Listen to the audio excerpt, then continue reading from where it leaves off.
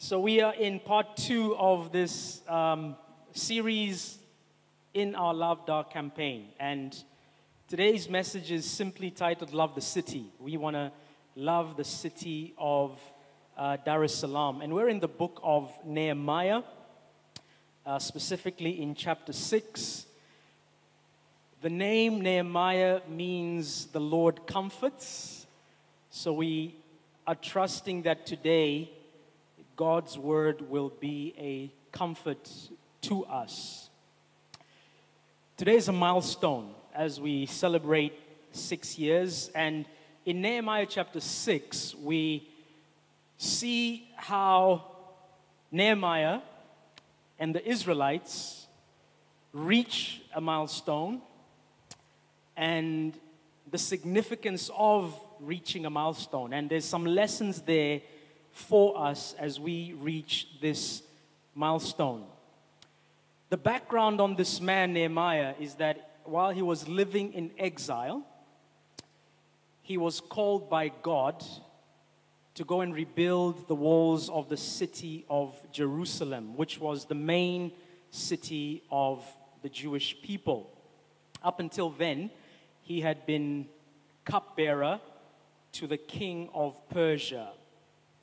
And that would involve things like tasting the king's wine to make sure that it wasn't poisoned. Uh, so that was his role. And in the first chapter of this book, the story starts in a really dramatic way.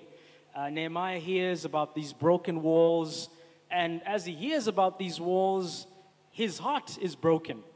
And God speaks to him. Nehemiah uh, goes into a time of weeping and fasting and praying. And, and from there, he then moves to Jerusalem. Now, the, the Bible doesn't say that Nehemiah loved the city of Jerusalem, but his response certainly shows that God had done something in his heart. He leaves this uh, important job and he moves to a home that he did not know. He was a man of prayer. He was a man of vision. He was a man of tremendous leadership ability. And when Nehemiah gets to Jerusalem, he mobilizes the people. He brings them together and he calls them to this vision of rebuilding the walls of Jerusalem. And he divides them up and says, You're going to build that part, you're going to build that part, you're going to build that part. And together they get on with this work. He assumes the role of governor of Judah. That's an important political role. So Nehemiah is actually uh, in that political space. He's in the marketplace, as it were. He wasn't full time in a, in a church office tucked away somewhere. Many of us are in that space, in that space of, of, of being in the marketplace. And, and, and, and this really speaks to the lives that many of us live day by day. Interestingly, the, the word Jerusalem, the city that, that Nehemiah goes back to, and the word Dar es Salaam, our city, they, they carry kind of the same meaning city of peace. And, and what God wanted for Jerusalem and what God wants for our city is, is to bring His peace. And, and He brings that peace most clearly through the Prince of Peace, Jesus Christ, our Lord and Savior. So, would you turn with me to Nehemiah chapter 6 and we will read verses 1 to 16. When word came to Sanballat, Tobiah, Geshem the Arab, and the rest of our enemies that I had rebuilt the wall and not a gap was left in it, though up to that time I had not set the doors in the gates, Sanballat and Geshem sent me this message Come, let us meet together in one of the villages on the plain of Ono. But they were scheming to harm me. So I sent messengers to them with this reply I am carrying on a great project and cannot go down. Why should the work stop while I leave it and go down to you? Four times they sent me the same message, and each time I gave them the same answer. Then the fifth time, Sanballat sent his aide to me with the same message, and in his hand was an unsealed letter in which was written It is reported among the nations, and Geshem says it is true that you and the Jews are plotting to revolt, and therefore you are building the wall. Moreover, according to these reports, you are about to become their king and have even appointed prophets to make this proclamation about you in Jerusalem. There is a king in Judah. Now, this report will get back to the king, so come, let us meet together. I sent him this reply Nothing like what you are saying is happening. You are just making it, it up out of your head. They were all trying to frighten us, thinking their hands will get too weak for the work and it will not be completed. But I prayed. Now strengthen my hands. One day I went to the house of Shemaiah, son of Delaiah, the son of Mehetabel, who was shut in at his home. He said, let us meet in the house of God inside the temple and let us close the temple doors because men are coming to kill you. By night they are coming to kill you. But I said, Should a man like me run away? Or should someone like me go into the temple to save his life? I will not go. I realized that God had not sent him, but that he had prophesied against me because Tobiah and Sanballat had hired him. He had been hired to intimidate me so that I would commit a sin by doing this, and then they would give me a bad name to discredit me.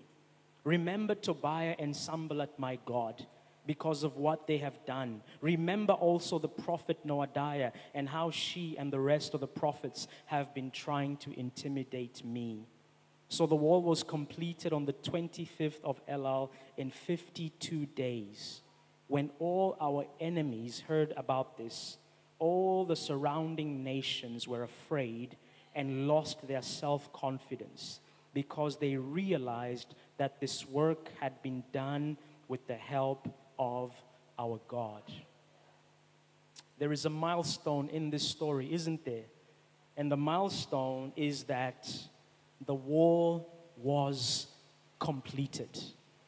The job was done.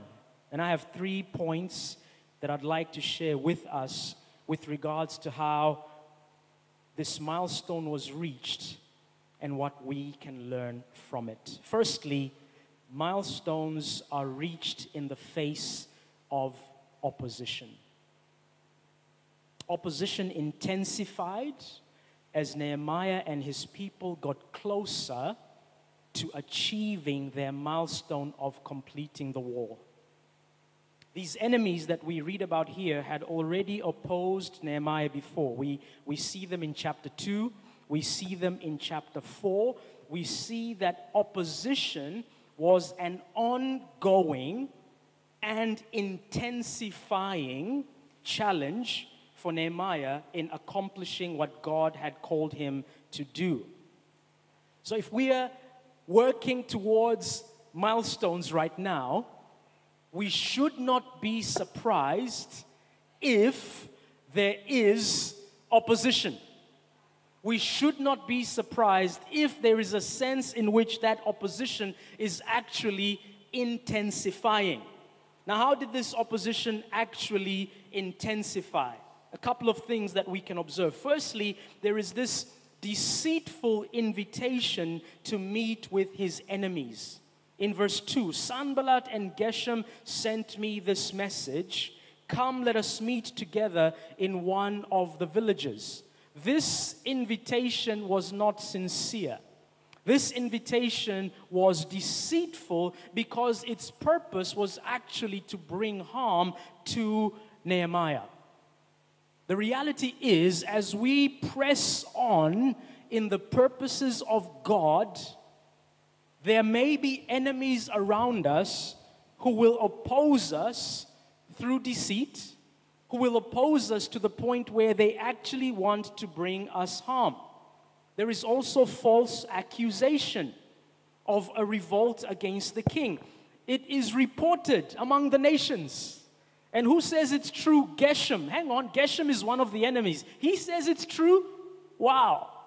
That you and the Jews are plotting to revolt, and therefore you are building the wall. The building of the wall had nothing to do with the revolt. The building of the wall was about reestablishing the people of God. It was about protecting and comforting the people of God and bringing them back to their Lord. It was not about a revolt. If anything, the king of Persia backed the building of the wall, he resourced the building of the wall.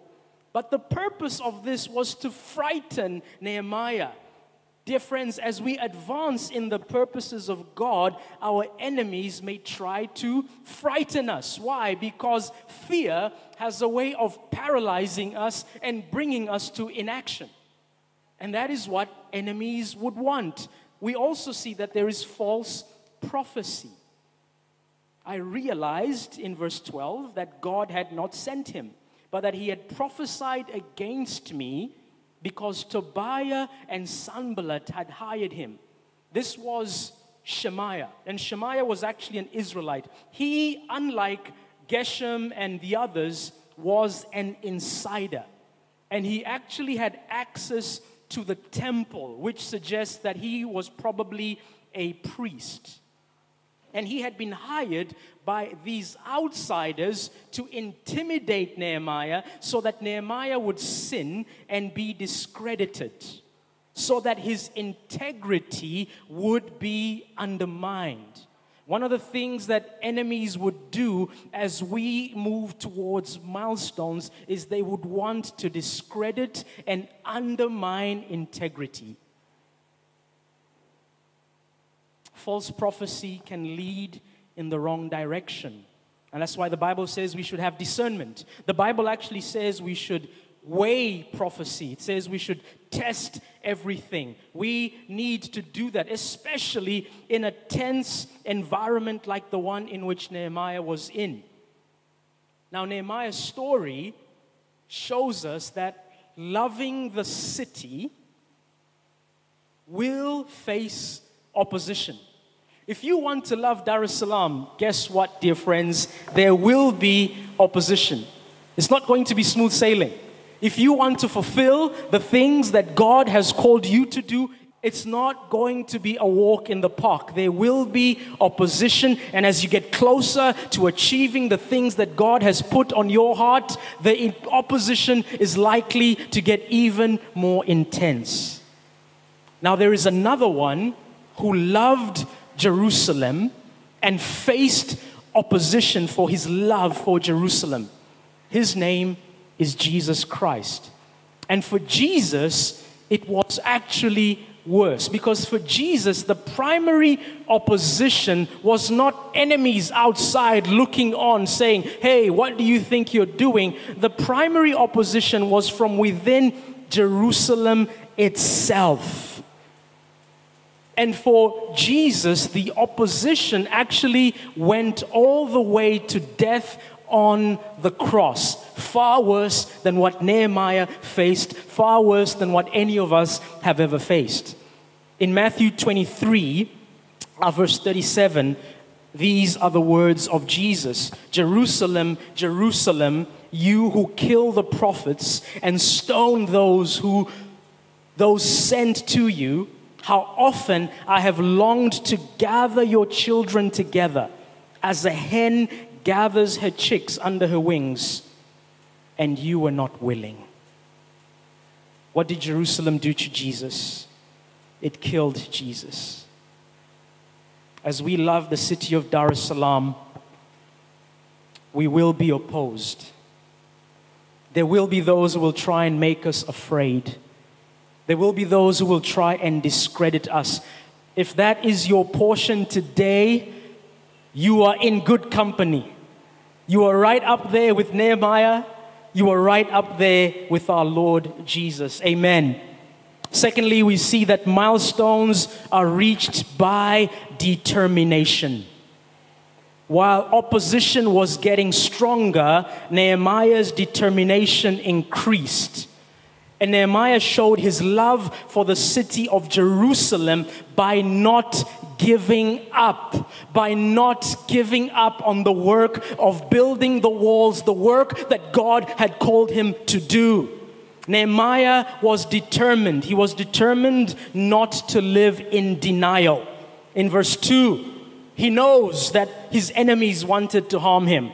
In verse 8, he acknowledges that they are lying. In verse 9, he understands that they want to frighten him. In verse 13, he is aware that they want to discredit him. This was not a leader who had buried his head in the sand. His determination was a determination where he was well aware of what was going on and acknowledged it for what it was. Nehemiah was determined not to lose focus verse 3 and 4 I am carrying on a great project and cannot go down. Why should the work stop while I leave it and go down to you? He was telling his enemies what his priority was. Nehemiah kept burning with the vision that God had put in him. Nehemiah kept pressing forward with the call of God on his life. He knew why he was there, and despite the opposition, he was determined to stay focused. You see, opposition has a way of making things cloudy. Opposition has a way of making things blurry, and all of a sudden, things are no longer as clear as they used to be. The vision is not quite as strong as it was, but Nehemiah had tunnel focus. Why should I come down? To you, I am about a great project. And it wasn't as though these enemies came once or twice, three times, four times, the fifth time. They kept coming back. Nehemiah remains resolute, he remains focused on the thing that God has called him to do. I will not be distracted. I will not be deterred. I will not come down. I am about a great project. Nehemiah was determined to keep praying. Verse 9, but I prayed. Now strengthen my hands. Looks at the situation, sees the circumstances. What's the response? I prayed. I prayed. Lord, strengthen my hand. Verse 14, remember Tobiah and Sanballat, my God, because of what they have done. What's he doing? He's praying. Remember also the prophet Noadiah and how she and the rest of the prophets have been trying to intimidate me. He was a man of prayer right from chapter 1. He continues being a man of prayer chapter after chapter, and we meet him here in chapter 6. As the opposition is intensifying, what is he doing? He is praying. Dear friends, if you are going to stand in the face of opposition, if you are going to be determined in the face of opposition, you need to be a man of prayer. You need to be a woman of prayer. You need not to look to your own strength. You need not to look even to those around you. Yes, they can encourage, but first and foremost, you need to turn to God. You need to strengthen yourself, encourage yourself in the Lord. You need to pray. Nehemiah kept going, he kept pushing forward, he kept building, he kept inspiring his people to do the same. Nehemiah showed his love for Jerusalem by not giving up on the work of building the walls. God had done something in his heart. God had placed something so strong and so deep in him that he was willing to keep going. You see, friends, there is a standing firm that is standing firm just to hold your ground. But there is a standing firm which you, you are actually taking ground in the face of opposition. You are actually moving forward in the face of opposition. You are actually taking something from the enemy that the enemy wants to take from you. And that is what Nehemiah was doing. He was pressing on, moving forward despite the intensity of the opposition. And he did that as a man of prayer. Jesus, our great Lord and Savior, he also showed his love through the determination for Jerusalem that he had in the face of opposition. In Luke chapter 9, verse 51, it says, At the, As the time approached, as the time approached for him to be taken up to heaven, Jesus resolutely set out for Jerusalem. Yes, Jesus was going to be taken up to heaven. He was going to be glorified in this magnificent way. But before he would be taken up to heaven, what waited for Jesus in Jerusalem was beating, was mocking, was flogging, was betrayal, was crucifixion, death by crucifixion. This is what Jesus had resolutely set his face towards Jerusalem for.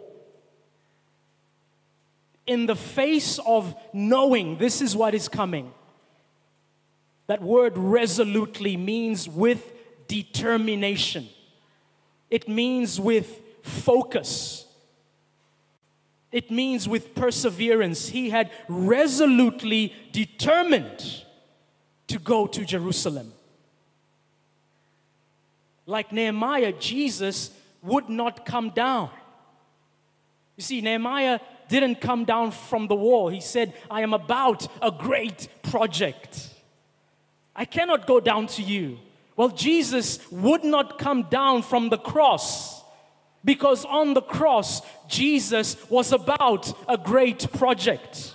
He was about the project of saving us from our sins. He was about the project of building the people of God. He was about the project of extending grace to a lost humanity. He was about the project of bringing us into the family of God and giving us the gift of eternal life. He could not come down. He was about a great project. Luke 27 39 to 42. Those who passed by hurled insults at him, shaking their heads and saying, Who are you going, you who are going to destroy the temple and build it in three days? Yes, Jesus was about building. Save yourself. Come down from the cross if you are the Son of God. In the same way, the chief priests, the teachers of the law, and the elders mocked him. He saved others, they said, but he can't save himself. He's the king of Israel. Let him come down now from the cross, and we will believe in him. Jesus stayed on the cross, he could not come down. Dear friends, are you facing opposition as you build your part of Dar es Salaam? You see, each and every one of us here has been put in a part of the city of Dar es Salaam to be a builder, to take our position and build. And perhaps you're facing opposition, and, and there's, there's different aspects to the wall that God has given us. There is our, our relationships, that's part of the wall we're building, our marriages our, our, our children, our families. There's, there's other parts of the wall which are our, our businesses, our jobs, our companies, our organizations. We're building, we're building the city, we're building the city. There's our churches, our mission organizations. We're building the city, we're building the city. And as, and as you're building, perhaps you are facing opposition. As, as you look to the milestones, as you think ahead, I, I want to reach some milestones. I see some milestones ahead. You are facing opposition. What would Nehemiah say to us today? What would the Word of God say to us today? Keep building. Don't give up. Don't stop. Keep going. You have a purpose, you have a reason. God has placed you there for something. do not come down. Do not come down because you are about a great project. You are about a great work in the city of Dar es Salaam. Amen. You and I will show our love for the city through our determination. And you know, the thing with determination is it's not just, I'm going to grit my teeth and try harder. Nehemiah's determination was rooted in something that God did in his heart right at the beginning. He was actually a broken man. He was a man who had wept and fasted and was continuously in prayer. He was so connected to God. His determination was a product of his connection to God, of his intimacy to God, of God having ruined his heart for the things that he had called him to. So, determination, dear friends, is not, well, you know what, tomorrow I'm just going to try harder. I'm going to do it in my own strength. Yes, we need to make a decision. We need to decide that we will not give up. We will keep going. But man, the strength, the power comes from the Lord. So we plug into Him, we turn to Him, and we say, Lord. Nehemiah is the guy who said, The joy of the Lord is my strength. It is because of the Lord that we have the strength to keep on going. And we love this city as we keep on going. Our third and final point is that milestones demonstrate the faithfulness of God. One of my favorite uh, verses in this whole book of Nehemiah is verse 15, which says, So the wall was completed on the 25th of Elul in 52 days. It was completed after Nehemiah had prayed. After they had prayed, what happened? Well, the job was done. It is finished. Despite the opposition, Despite the tough conditions, the work of rebuilding the walls was done. What followed prayer was success. It is finished. Nehemiah was a finisher, he was a completer. Him and his team, these guys saw through what they had started. And what I, when I read this, I, I stand in faith I say, God, I trust you that the role you have given us in building this city, what you have begun, you will see through to completion. We will be finishers as well. We will do the job that is before us and the job that is before you in your family, in your community, in your society, in your job, in your organization, you can finish that job because God is with you. God is faithful. You see, God is faithful even when we are not faithful. God is faithful even when we mess up. I mean, we might look at Nehemiah and say, This guy, he's just so remarkable. Where, where, are the mistakes? It just seems like everything's going right. Well, we know for, for a fact that we make mistakes. We know for a fact that we take the wrong steps, make the wrong decisions, say the wrong things. We lack faith here, we lack faith there. But it is because God is faithful. God is faithful, dear friends.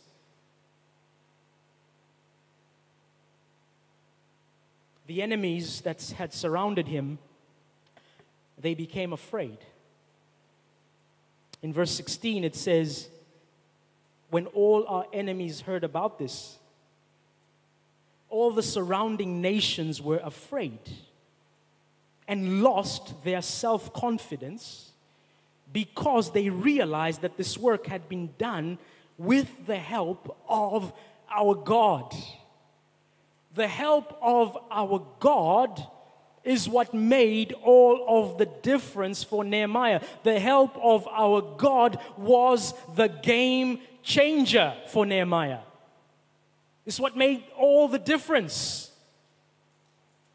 With God, we can achieve what looks impossible through human eyes. And what God does through us will speak for, ourselves, for itself. You see, we, we don't have to go to someone and say, hey, look, this is God. God is doing this. We don't have to intimidate our enemies and say, hey, listen, you need to stop what you're doing and, and, and, and, and pull out the riot act on them. Yes, there is a place for, there's an appropriate place for confrontation.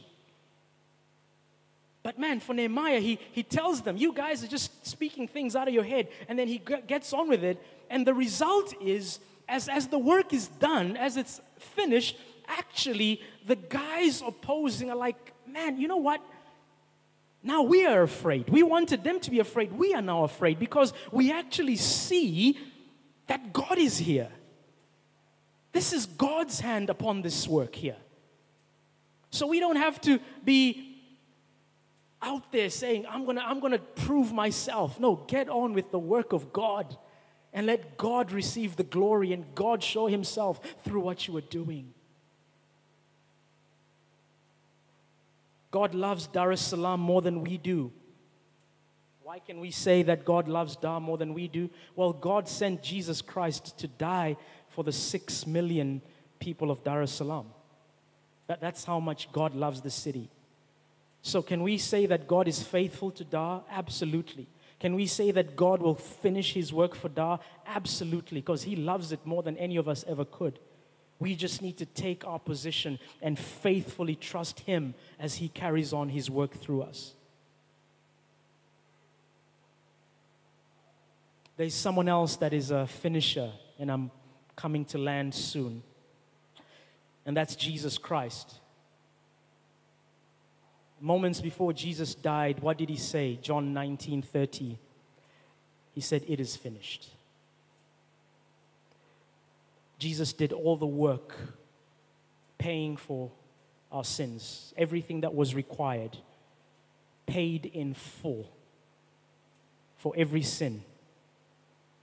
It is finished. Everything that was needed to build the people of God, to build His church, it is finished.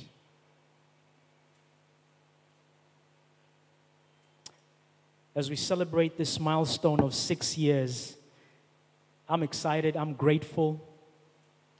The appropriate response is, Thank you, Lord. Thanksgiving.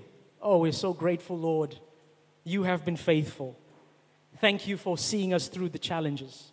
Thank you for giving us determination. Thank you for helping us to stay strong and resolute, to keep pressing on. Thank you, thank you, thank you, God. But beyond thank you, God, we, we can also look to the future with eyes of faith, can't we? And we can say, God, we believe that greater things are yet to come. We believe that you have more. Thank you. We believe that you still have more in store for us than what we have accomplished already. So we're marking this milestone and saying, Thank you for the past. But we're also saying, God, thank you for the future.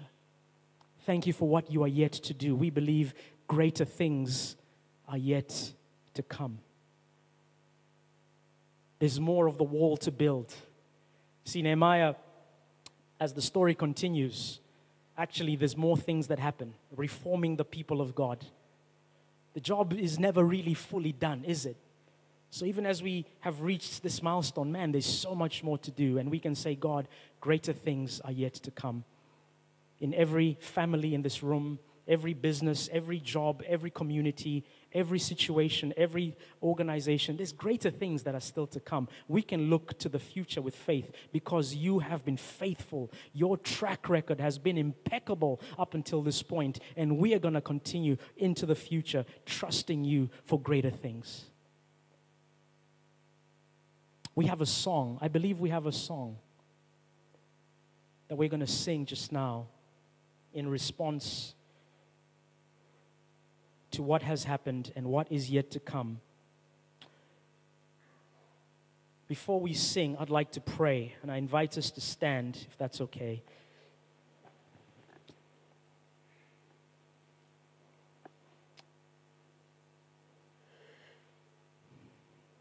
Lord, we want to thank you for your amazing goodness to us. Lord, we thank you that there are things that you have called us to, and there are milestones that you have for each and every person in this room. Lord, I pray that today a new sense of destiny and purpose would rise in our hearts. A new sense of calling to the city of Dar es Salaam would rise in us. Lord, we thank you for the story of Nehemiah, this political figure who loved God so much, this man of influence who had a heart to serve you and build and restore. God, I pray today that if there's anyone here who is facing opposition, Lord, that you would encourage them. If there's anyone here who feels like giving up, Lord, that they would not give up, that they would keep pressing on if there's anyone here who feels that the opposition is too great, they would see Jesus pressing on to Jerusalem resolutely with his face fully set to accomplish everything that you had called him to do through the cross. That we would look to the Bible, we would look to the Word of God and find fresh courage, fresh strength to keep moving forward. God, I pray that determination would rise. Determination would rise in us, Lord. Lord, that we wouldn't just be determined to hold our ground, but we would be determined to take ground, to move forward, to move forward in our marriages, to move forward with our families, to move forward in our businesses, in our companies, in our jobs, in, in building this city, in, in, in, in infrastructure and healthcare and education and all the things that are in the city. We would move forward in restoring the people of God, in restoring the house of God, in doing all that we can to bring people to see God for who He is. And Lord, that as we do that, even our enemies will see that God is here, God is with them, God is in that situation, and they would have the fear of God in them. Lord, we look to you. Thank you for all you have done. Thank you for six amazing years. Thank you for the next six. We trust that greater things are yet to come in the city of Dar. In Jesus' name, amen.